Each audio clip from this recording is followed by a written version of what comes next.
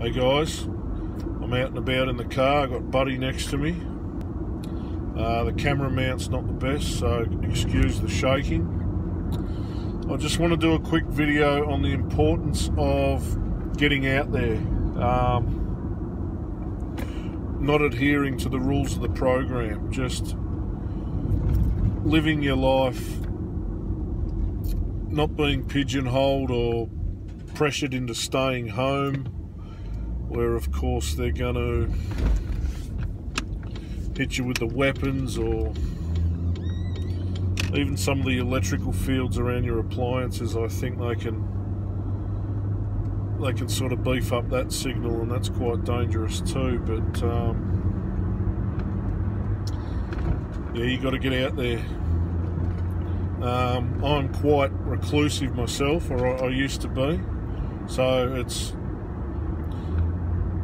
it's it's hard at times for me to get out, but you got to do it. Usually, a good indicator for me is if I'm feeling really sick, like today. I wasn't this morning. I wasn't feeling too good. I've just been for a two and a half hour drive. Um,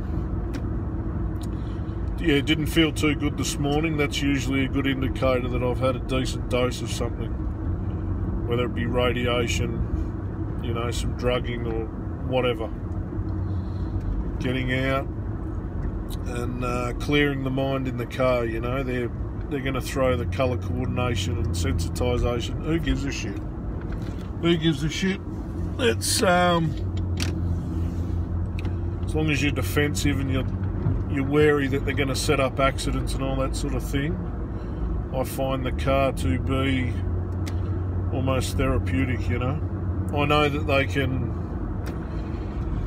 um, put things in and, and, amplify it in your car, and you know, there's satellites, and I'm sure they, they get to you, they get to you if they want you, but I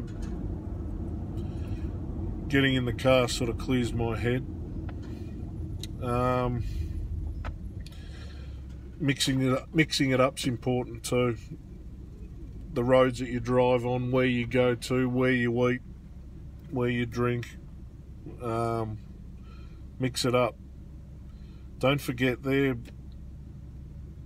they're part of a scripted program. They're robotic like I won't even call them people.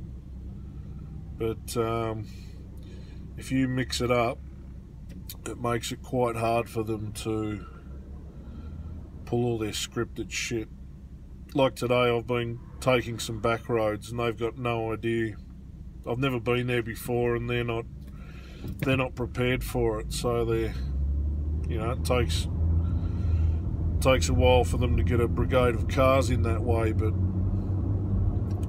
I sort of did that just as just an, as, as an experiment.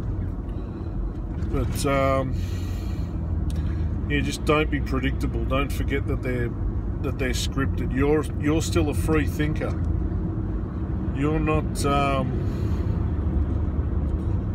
you haven't totally succumbed to this fucked up, mind controlled, bloody sadistic program you are still free and um, I'd rather be free than uh, dictated to. Another thing is, um, another way to look at it is you're the centre of the world for these bludgers. You are, for a better term, their God. Everything evolves around you, so if you want to go for a drive at fucking three in the morning and make them do some work, get out of bed, do it. Do it. I went through a stage where I reversed my sleeping patterns because I was so bad anyway. So I started bloody driving at night. Just, just mix it up, make them earn it, make them uncomfortable and uh, yeah, just just uh, don't be scared. Get out there. Get out there and show them because they hate it. Get out there and show them that you're still you. Your, your humanity's still there. And you won't be um, you won't be terrorized by these fucking two-bit fucking crooks. Alright guys, that's the end of my rant.